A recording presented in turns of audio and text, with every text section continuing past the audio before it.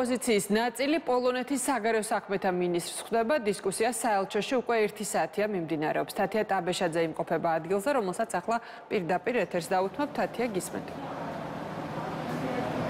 პოლონეთის საგარეო საქმეთა მინისტრს ზბიგნევ რაუს ამ მომენტში ხვდებიან კონკრეტული პოლიტიკური პარტიის წარმომადგენლები, ესენი არიან ლელოს სტრატეგია აღმაშენებლის ნაციონალური მოძრაობის ევროპული საქართველოს ლიდერები, ასევე ადგილზე იმყოფება პარლამენტის დამოუკიდებელი დეპუტატი თეონა აკუბარდია. მათი მხრიდან სასაუბრო თემა იქნება 12 რეკომენდაციის შესრულება, როგორც ისინი ამბობენ, ამ რეკომენდაციების უდიდესი ნაწილი არის შეუსრულებელი, ისინი დააყენებენ მათ შორის დეოლიგარქიზაციის საკითხს, მოითხოვენ ნიკა გვარამიას გათავისუფლებას და ასევე მიხეილ სააკაშვილის სამკურნალოდ გადაყვანას და სთხოვენ ზბიგნევ რაუს როგორც თავად ოპოზიციის წევრები ამბობენ სთხოვენ რომ საქართველოს მთავრობაზე მოახდინოს ზეწოლა რათა შეასრულოს მთავრობამ 12 რეკომენდაცია რომლის შემდეგაც უკვე ქვეყანამ უნდა მიიღოს ევროკავშირის წევრო კანდიდატის წევრობის სტატუსი.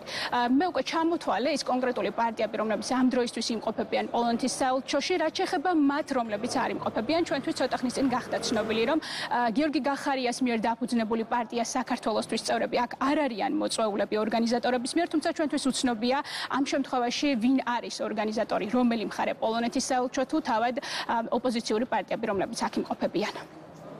დღეს, როდესაც რჩება რამდენიმე თვე ევროკავშირის მიერ ისტორიული გადაწყვეტილების მიღების დღემდე, პოლონეთის საგარეო საქმეთა მინისტრს გაუზიაროთ ის ხედვა, რაც უკავშირდება ამ ქვეყნისთვის კანდიდატის სტატუსის მიღების პროცესში არსებულ გამოწვევებს, იმიტომ რომ სამწუხაროდ ჩვენ ვხედავთ, რომ დღეს ევროკავშირის მოთხოვნებიდან უდიდი ნაწილი არ არის შესრულებული.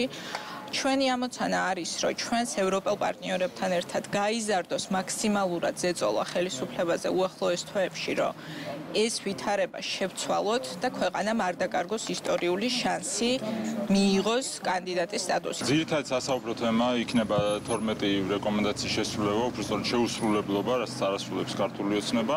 რა თქმა უნდა, აქცენტი გაკეთება ისეთ თემებზე, როგორც არის სასამართლო თემა, როგორც არის პოლიტიკური პატიმრების თემა, მიხეილ სააკაშვილი და ნიკა გვარამია, მედია თავისუფლების თემა, დეოლიგარქიზაციის საკითხები, 19 აპრილის შესრულების, უბრალოდ შეუსრულებლობის საკითხები. თავარი საკითხი სავალოდოთ იქნება სტატუსის საკითხი, რა სიტუაცია შექვეყანა, რა გამოწვევები გვაქვს, როგორ არასრულებს ხელისუფლება იმ მოთხოვნებს, რომელიც არის და ამის გარდა რა სხვა ტიპის პოლიტიკური პრობლემები არსებობს სტატუსის მიღებასთან დაკავშირებით. ეჭვი მაქვს, რომ ამაზე იქნება ძირითადად საუბარი, ამიტომ მე ამაზე ვარ რაღაც მსული სასაუბრო. თანაჩენ არ ვიცი თუ იქნება რამე კითხები, ყველაფერზე ვისაუბრებ.